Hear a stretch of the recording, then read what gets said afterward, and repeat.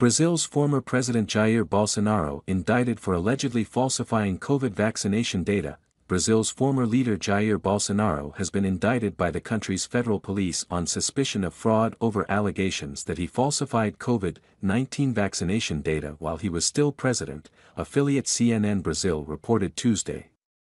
Police say the far-right leader allegedly ordered one of his closest aides to enter false vaccination data into the Ministry of Health system for himself and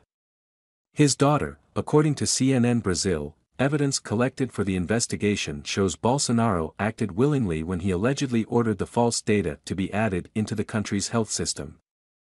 Police said according to CNN Brazil, Bolsonaro's closest aide, Lieutenant Colonel Mauro Cid, and 15 others were also indicted for allegedly participating in the same scheme, Bolsonaro's lawyer, Fabio Wajngarten, called the indictment absurd. The whole world knows, Bolsonaro's personal opinion on the subject of